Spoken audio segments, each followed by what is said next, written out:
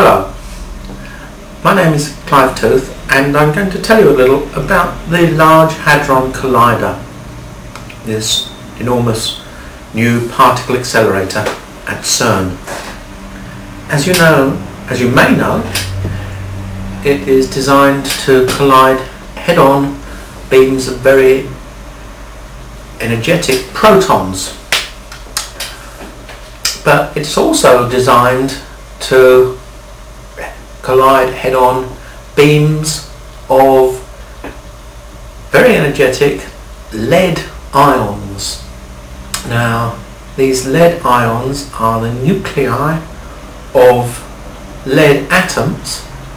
They've had all their electrons stripped away so we're just down to the nucleus of the lead atom. In this case we're talking about uh, a nucleus with 82 protons and 126 neutrons, total of uh, 208 nucleons in all in the nucleus.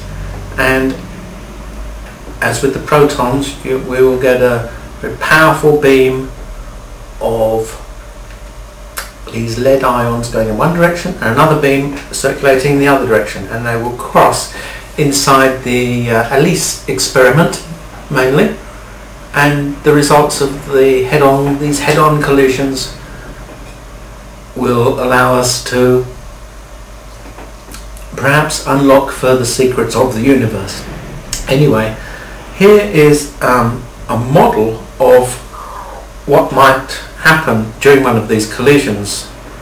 Um, the lead ions we call uh, nutmegs in uh, in the ALICE experiment. And so the nutmegs come in from this direction and from this direction. And here we've got a inside here a simulated collision here head-on collision of these two very powerful nutmegs. The energy of each of these nutmegs is about one half of a peta electron volt. Now that is about one half of a thousand million million electron volts.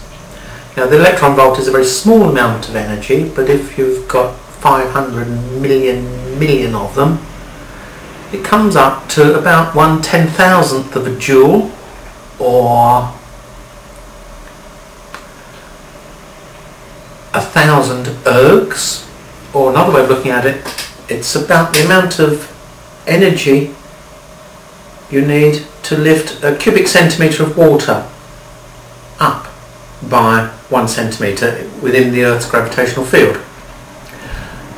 Not much energy really in terms of our everyday life, but imagine that much energy in a single atomic nucleus. Anyway, so the nutmegs come along here and along here and they collide here and when we get this head-on collision first thing we get is these yellow lines coming out here. I don't know if you can see them. I hope you can. These are Yoba rays which come out of the collision. When the Yoba rays come out they travel a short distance and then they decay into MINGO particles. And the MINGO particles themselves these are these blue lines. One of the Yoba rays comes along here and hits an incoming nutmeg from this direction and it sends out these red lines. These are walnuts.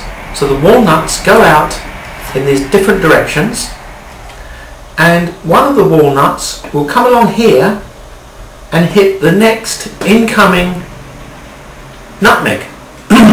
When that happens we get this rather complicated arrangement here which we call peanut butter.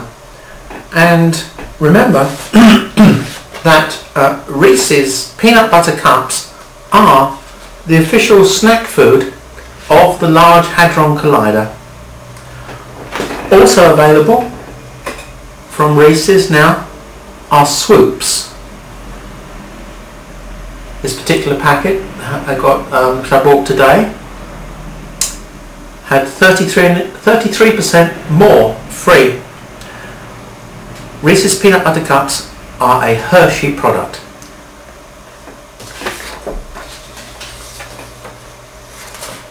Thank you very much.